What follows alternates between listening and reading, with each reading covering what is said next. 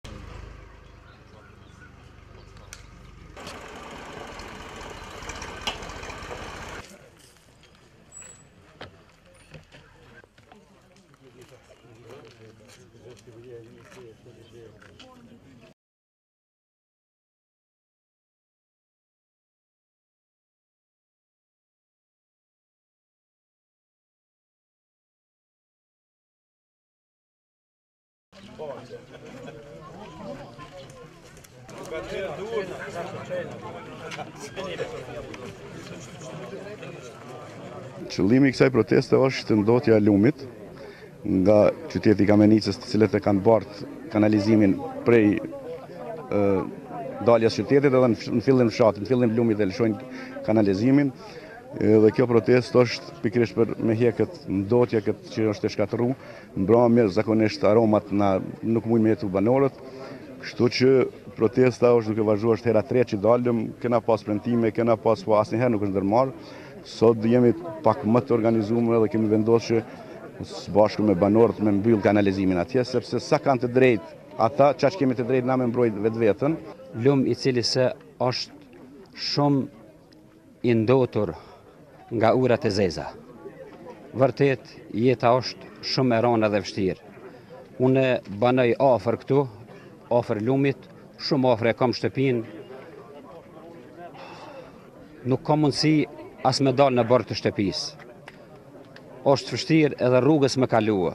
është vështirë edhe dritaret e shtëpisë me i hap për freskim, për arsye se kundërmon shumë erë e keqe edhe e rëndë.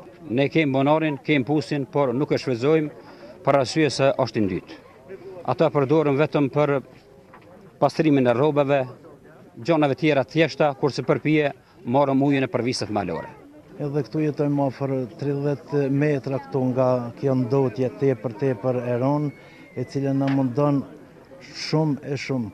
Pra vetë pamja tregon edhe protesta këtu se kemi pakënaqësi të ndryshme, të tejet mëdha, ujërat e zeza dhe plehrat, erënat e ndryshme e kanë bërë atë të veten që çdo ditë Nuk ka asnjë familje e cila nuk lajmërohet te mjeku për shkak fytit apo mushkërinjve.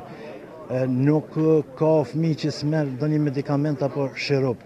Pra edhe kështu si është gjendja e varfun sado kudo, papunësi, varfni, pra nu ka bo edhe kjo sëmundje si një kolerë e hatashme për shëndetin e njerëzve.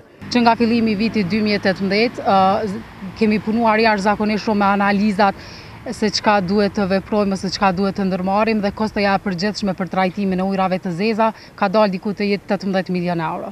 Fatkeqësisht komuna e Kamenicës ka buxhet të pamjaftueshëm ta trajtojë problemin e ujrave të zeza, ndërkohë që ligjërisht nuk mundemi ta trajtojmë vetëm problemin e Koretinit në përgjithësi.